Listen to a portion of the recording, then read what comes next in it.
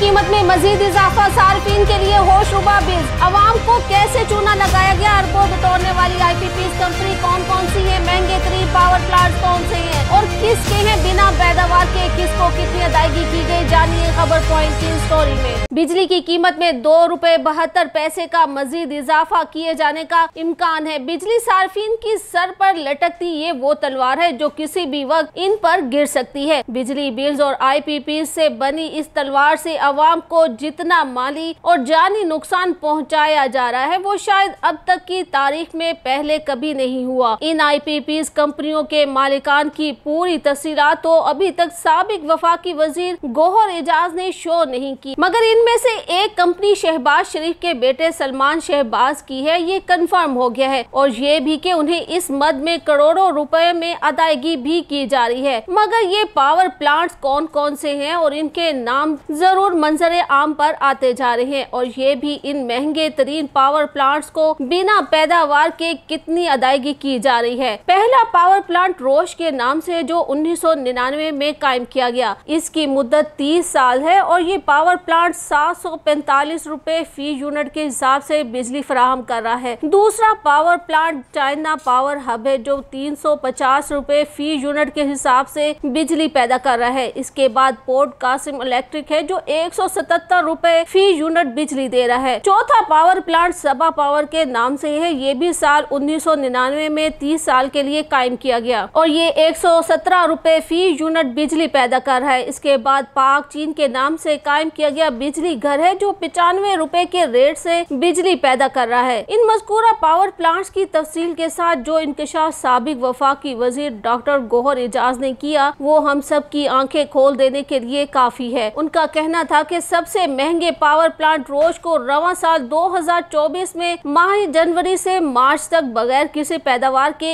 एक अरब अट्ठाईस करोड़ रुपए अदा किए गए। इसी तरह चाइना पावर हब नामी इस बिजली घर को बगैर बिजली पैदा किए रवा साल 2024 में माह जनवरी से मार्च तक तीन माह की मुद्दत में 33 अरब रुपए की अदायगी की गई। पोर्ट कासिम इलेक्ट्रिक को भी बगैर किसी पैदावार के तकरीबन 30 अरब रुपए अदा किए गए। इसके अलावा रवा साल जनवरी से मार्च तक पंजाब थर्मल पावर को भी सिफर पैदावार के बावजूद तकरीबन 10 अरब रुपए अदा किए गए। इसी तरह जाम शोरो पावर प्लांट को भी इसी मुद्दत में बगैर बिजली पैदा किए तिरानवे करोड़ रुपए अदा किए गए। सेफ़ पावर प्रोजेक्ट को भी इन्हीं तीन माह के दौरान बगैर किसी पैदावार के सतासठ करोड़ रुपए की अदायगी की गई। सफायर इलेक्ट्रिक लिमिटेड को जनवरी से मार्च तक उनसठ करोड़ रुपए अदा किए गए। बिना पैदावार के की गई ये भारी अदायगियाँ आवाम की जेबों से बिजली बिज में इजाफे की सूरत में नाजायज तौर पर निकलवाई जाती है। मगर जब आवाम इनसे पूछती है या हिसाब मांगती है तो इस पर भी फायर वॉल की सूरत में पाबंदी लगा दी जाती है। पंजाब की आवाम के साथ ये सलूक ऐसे ही चलता रहा तो वो दिन दूर नहीं जब हुक्मरान जमात को देखकर पंजाब की आवाम उन्हें वोट देने से साफ़ इनकार कर देगी।